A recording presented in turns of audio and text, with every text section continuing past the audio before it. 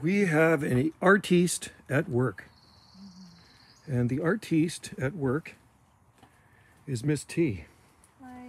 I call her Miss T because her last name is Taylor.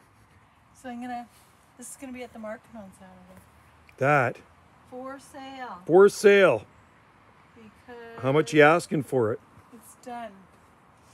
So we're- Lots of big one. We're gonna commission. and bigger is better, even in painting. So let's let's see.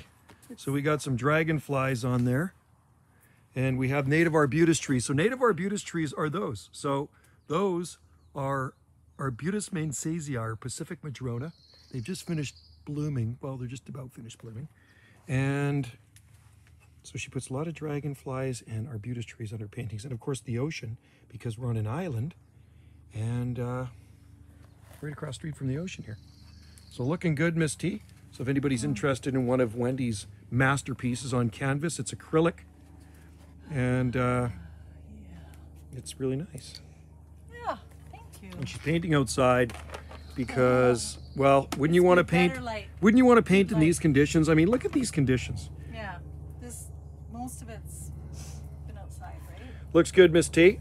Anyway, thanks for watching, everybody, and stay tuned for more videos, and we'll let you know if she sells it this weekend.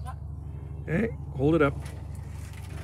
Like Hold it up. There we go. Look at that. We could actually use that as a thumbnail if it. It's hard to get thumbnails on here. Good ones. That's a good one. Look at that smile. I'm actually honing in on the lady. No, just All right. Anyway, thanks for watching. Cheers and aloha from Salt Spring Island, and that's Wendy's latest creation at Gallery 59. Cheers.